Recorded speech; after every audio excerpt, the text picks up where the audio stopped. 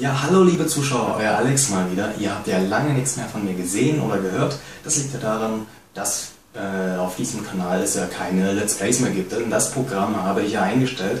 Für manche vielleicht ein Schock, für viele auch ganz egal. Viele Zuschauer gab es nicht.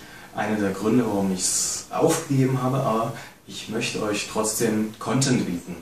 Das heißt, ähm, es wird jetzt ein neues Programm auf diesem Kanal geben mit einem neuen Konzept. Denn eines zumindest der Nachfolger eines meiner Lieblingsspiele ist jetzt erschienen, eine meiner Lieblingsserien. Und damit meine ich.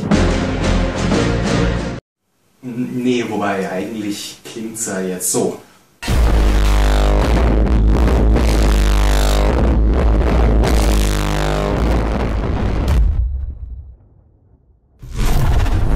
Ja, was soll's, wie auch immer, ähm, wem es gefällt oder nicht.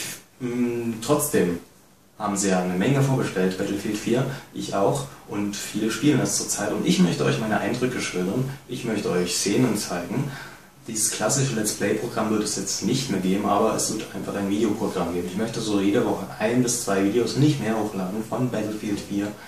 Und zwar werden das auch Let's Plays sein, aber nur mal ab und zu. Ansonsten vielleicht Commentaries, Tutorials, ähm, verschiedene Aspekte werden vom Spiel beleuchtet, Tests.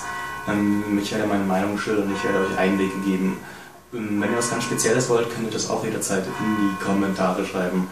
Auf jeden Fall Battlefield 4, das ist das Programm. Und ihr werdet einfach in den nächsten Tagen mehr davon sehen. Vielleicht morgen gibt es ein erstes Video, denke ich mal.